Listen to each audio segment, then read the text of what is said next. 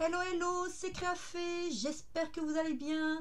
Alors avant tout, un grand merci à toutes les personnes qui se sont abonnées dernièrement à la chaîne. Ça fait un petit moment que je n'avais pas fait ces remerciements, donc je m'excuse pour tous ceux qui sont abonnés il y a quelques temps. Mais merci, merci à tous mes abonnés parce que franchement, ça fait chaud au cœur. Et puis merci aussi pour tous vos commentaires et tous vos encouragements.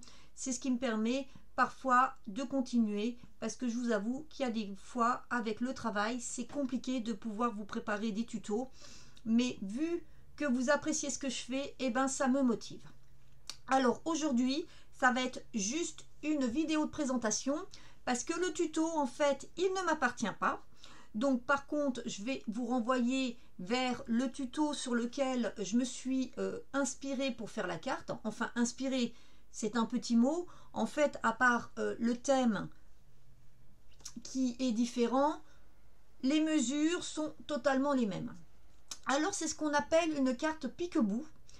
Et c'est une carte, en fait, qui, quand vous l'ouvrez, fait découvrir un petit message un peu secret. Donc, moi, pour celle-ci, euh, j'ai fait sur le thème euh, du mariage, parce qu'en fait, c'est une carte de félicitations pour un jeune couple de mariés. Et j'ai utilisé donc euh, la collection euh, You and Me de chez euh, Stamperia.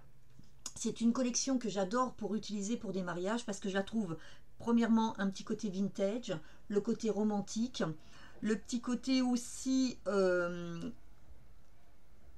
vraiment classique mais classe, distingué. Donc je trouve qu'elle va pour je trouve qu'elle passe bien pour euh, n'importe quel type de couple ou de thème que les couples auraient pu choisir pour leur mariage.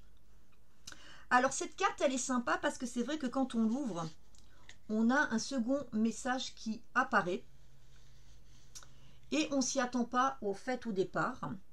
Et en plus, on peut euh, faire avec différentes formes. Donc là, moi, j'ai pris les cœurs. Parce que le cœur est le symbole de l'amour. Voilà. En plus d'être le symbole de la vie. Et je suis venue après agrémenter avec euh, différents euh, die cut ou euh, autocollants en épaisseur de la collection.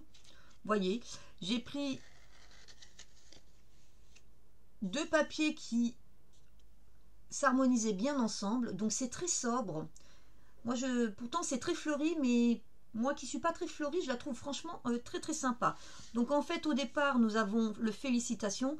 Alors bien sûr le souci c'est que Stamperia c'est écrit en anglais, c'est pas écrit en français. Donc nous avons le Just Married. Et quand on ouvre notre message c'est le meilleur est à venir. Bien sûr parce qu'on espère toujours que après le mariage la vie sera encore plus belle. Alors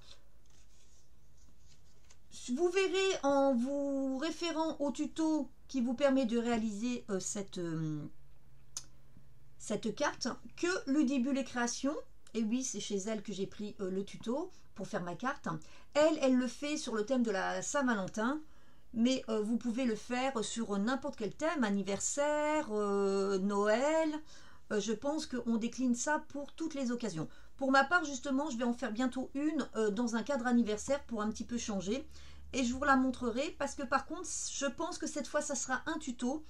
J'ai envie de vous faire une carte pique-bout pas long comme ça mais plutôt un peu plus en hauteur et y mettre en fait deux messages cachés. Donc je suis en train de réfléchir et en, train d'essayer de faire les prototypes euh, en espérant y arriver. Et donc vous aurez de ma part un tuto de carte pique-bout mais pas maintenant. En attendant, bah, je vous invite à aller retrouver le tuto de Ludibule. Moi, je vous mets celui avec le thème de la Saint-Valentin, mais sachez que sur sa chaîne, vous en trouverez un aussi sur un thème un petit peu plus euh, printanier, un petit peu plus Pâques. Donc, n'hésitez pas à aller voir les deux pour voir s'il y a des différences. En attendant de vous retrouver, eh ben, je vous souhaite une bonne journée et puis je vous dis à très bientôt. Bye bye